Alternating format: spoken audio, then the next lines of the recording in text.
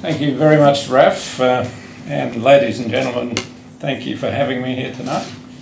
I must say, I was sitting at home this morning.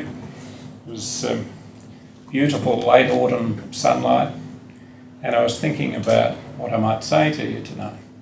Um, I must say that there were a lot of props around me. The first one that came to my mind was um, the screaming headline in one of the morning papers this morning, which uh, said that Fairfax were uh, likely to cease publishing their newspaper on a Monday to Friday basis in Sydney and Melbourne.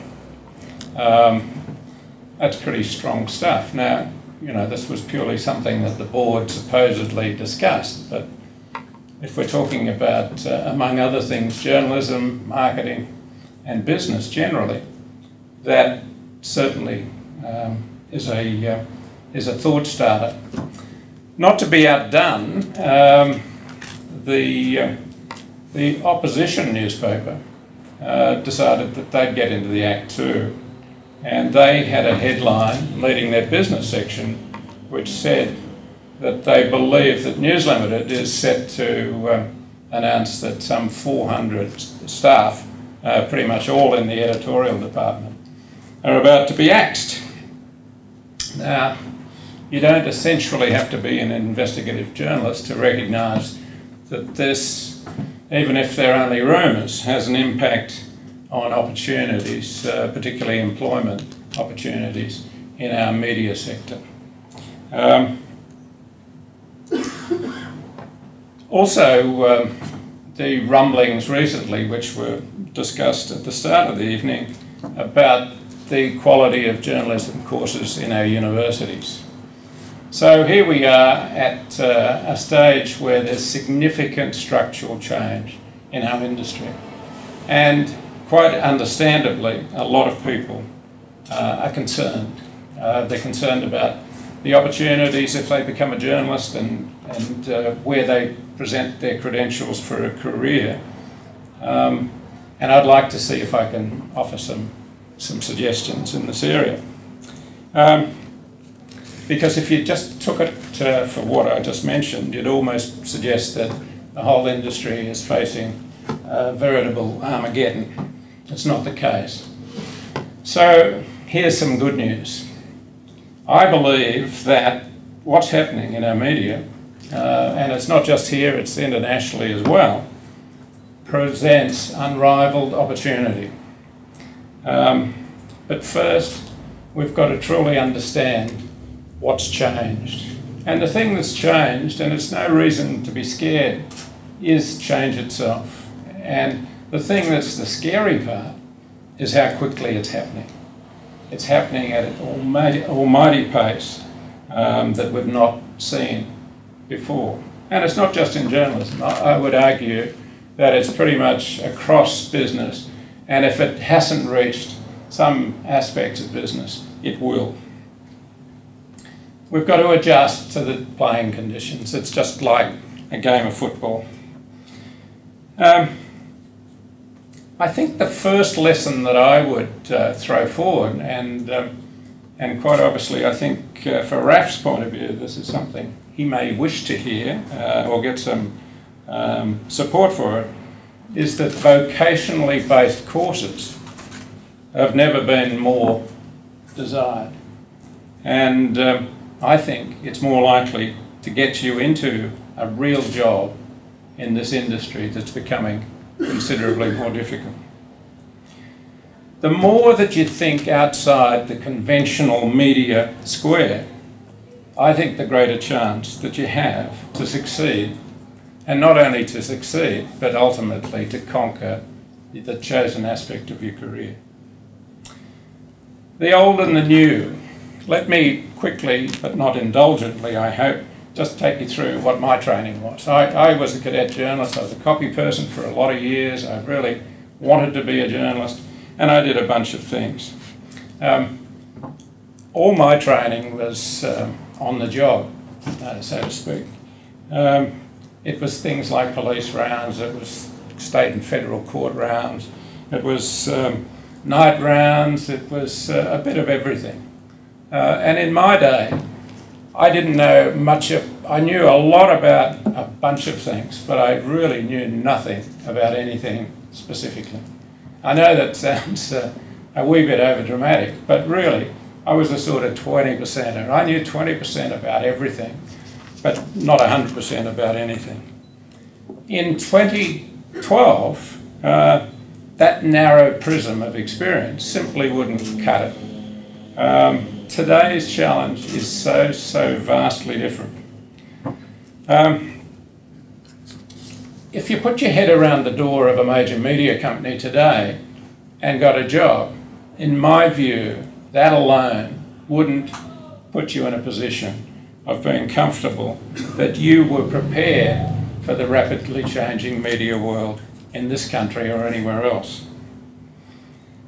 I've been on the record in the past criticising a number of the journalism courses. In fact, in my early days, I strongly believed that um, unless you worked for a major media company, that the real world experience was lacking. It also appeared to me that a real badge of honour, uh, particularly for the graduates from the journalism courses within the university, was that their first job in journalism, um, they came armed with a PhD in anti populism, in anti commercialism, and anti everything that represented a guy called Keith Rupert Murdoch. Now, have it whichever way you wish, but this is, uh, this is one of my presumptions. Today's media professionals require a practical training and a total understanding of the consumers and the media landscape that they're now operating in. And that's something that the media companies don't own anymore. It was once that you go to a media company, they'd teach you about all the outlets and how to uh, interact with consumers. Today, the power is actually with the journalist who can, as an entrepreneur, go to these media companies with answers because they don't have them. Macleay College, and I quite, um, uh, I've been aware of Macleay College for a lot of my career, but I must say that again, it doesn't even fit into the 20% category because I haven't known 20% of it. Uh, but I think through its courses that Bill mentioned, through journalism, advertising, business, PR, marketing, um, and accounting, is a virtual boot camp for the amount of information that a, a media entrepreneur needs today. And not just the, the, amount of training that they need, but it serves pretty much as a, as a virtual survival guide. Because make no mistake, the business of journalism has always been a business. And it's just as much a business. And as you see more and more people laid off in the traditional media areas, um, there's acceptance that it's always been a media, uh, been a, a business.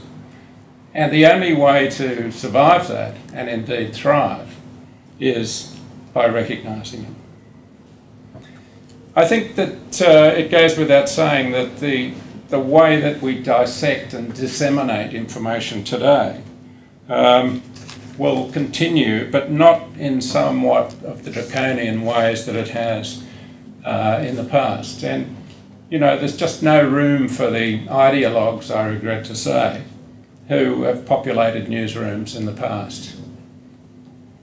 Being a journalist now more than ever requires imagination, it requires cleverness, and more than anything, it requires an entrepreneurial skill. We're all storytellers, whether in our company we spoke often about this, whether you're making movies, whether you're making a report for a uh, radio station, or whether you're writing for a magazine or you're writing a book. It's all a matter of storytelling and understanding the audience that you have. For every newspaper that won't be published in the future, and indeed for the newspapers who survive but with a smaller circulations, there are literally hundreds of opportunities for people to disseminate news and information in various styles to very large audiences and to be able to monetize them in various different ways, but mostly through digital media. The job that you've got here is to lead that information revolution because these days will be remembered, I believe, as the information revolution. Today is a very special day. Today is a new campus, new owners, and a new era. And I've got to say that it's a knockout. I've had the opportunity to go through uh, most of the building, and it's, um, it's just so unlike any learning institution I've ever seen. It is so modern, it is so rewarding just simply uh, to, to wander through the various um, uh, parts. Uh, also, I've got to say it's the sexiest part of Sydney.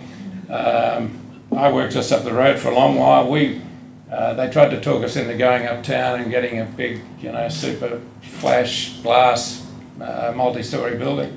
We decided to stay in Surry Hills and I mean it's the coolest part of the block. It's just such such a wonderful place to work. So um, there are so many things that you've got right. Um, also, looking at your alumni, and not only looking but hearing from some of them, you're producing graduates into real jobs, and that's something that you can't. Uh, I mean, as far as testimonials are concerned, doesn't get any better than that. So congratulations with that. And also to Raf and his team, all the staff um, on your alumni program. Um,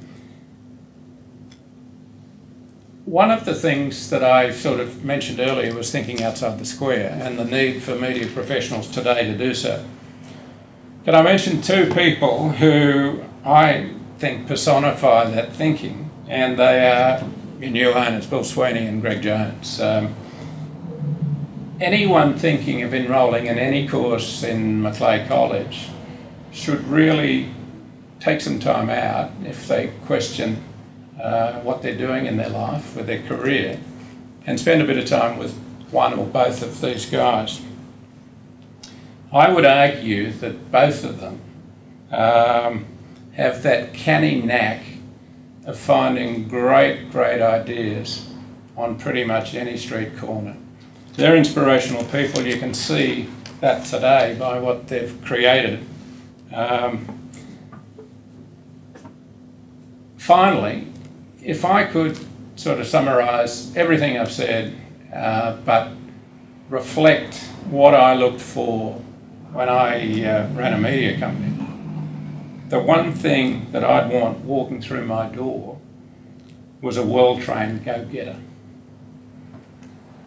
So here's to another 26 years of Macleay College and all the go-getters for the media industry, for the business industry, marketing, accounting and wherever else. I wish you well and thank you very much for the opportunity to come here and speak with you tonight. Thank you.